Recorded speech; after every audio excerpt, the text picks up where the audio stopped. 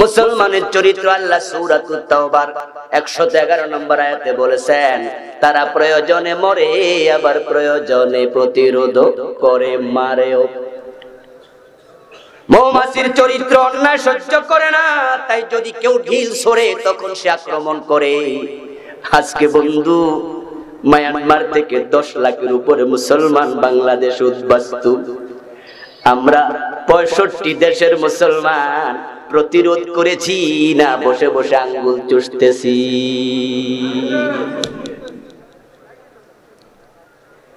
আমেরিকার বুশ যখন ইরাক আক্রমণ করে, ইরাক আক্রমণ করেছিল যে সুতানাতায়, বলেছে সাদ্দামের দেশে নাকি পরমাণু অস্ত্র আছে। সাদ্দাম বারবার বলেছে, তার দেশে পরমাণু অস্ত্র নাই। জাতিসংঘের গোয়েন্দা সংস্থা রিপোর্ট করেছে, পরমাণু অস্ত্র নাই।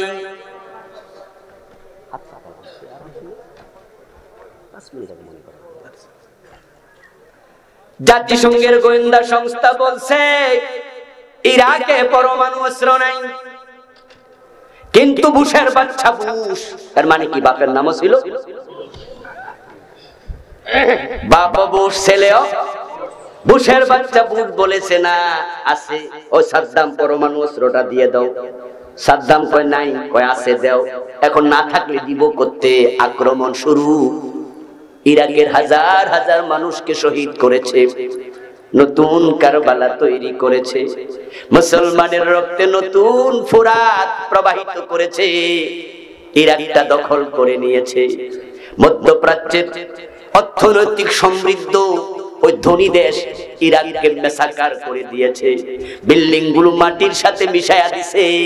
পুরা বানায়া দখলের পরে আপনাদের কাছ থেকে জবাব চাই, পরমাণু অস্ত্র পাইছে কয়টা?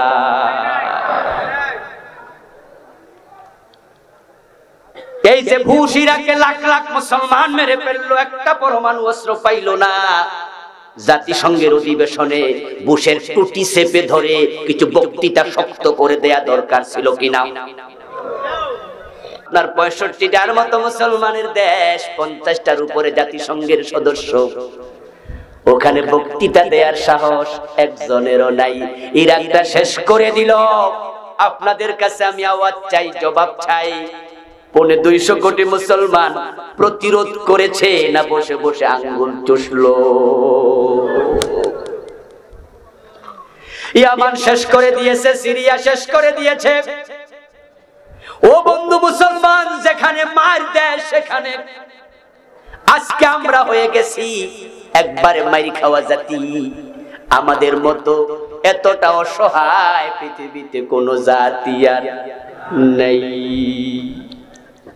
অথচ আমরা ছিলাম অর্ধ দুনিয়ার সম্রাট। আমরা স্পেনে সাতশো বছরের বেশি কালে মার পতাকা উড়িয়েছি। আমার ভাইয়ের হজরত অমরের সময় রোম বিজয় হয়েছে। আমরা রোম শাসন করেছি। ভারতের উপমহাদেশ, এই উপমহাদেশটা আমরা এগারোশো বছরের বেশি শাসন করেছি। অর্ধ পৃথিবী করেছ শাসন ধুলারে তথ্যে বসে।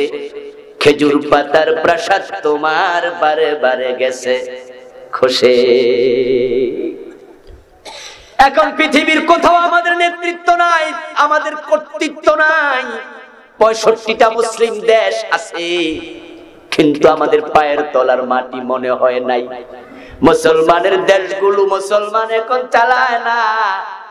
চালায় আমেরিকা, চালায় ভারতে। তাকায় দেখো মুসলমান। সৌদি আরব চালাচ্ছে আমেরিকা, বাংলাদেশ চালাচ্ছে ইন্ডিয়া। যদিও মনে হয় না আমরাই চালাইতেছি। সৌদি আরবের সালমান আমেরিকার বিরুদ্ধে একটা কথা বলবে সাহস রাখে না।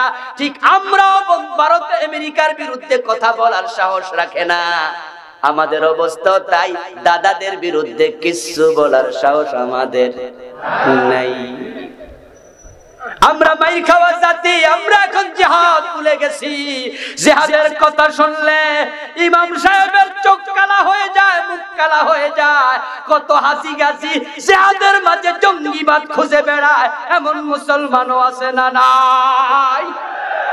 প্রতিরোধ ভুলেই গেছি, আমরা জেহাদ ভুলেই গেছি। বরং জেহাদ এবং সন্ত্রাসকে একাকার করার ষড়যন্ত্র চলছে। অথচ ইসলামে কখনো জঙ্গিবাদ নাই।